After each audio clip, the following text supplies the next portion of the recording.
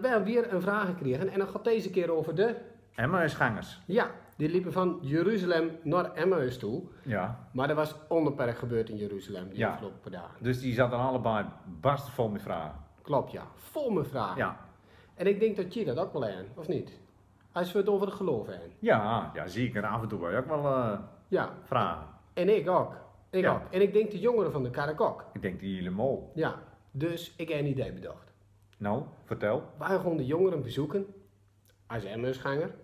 En dan gaan we de lui vragen wat voor vragen jullie hebben voor de dominee of voor de Oh, kerk. ja. En dan schrijven we die op. Ja, en die brengen we dan bij de dominee. Precies, ja. Nou, Hey, ik vind het eh, Ja?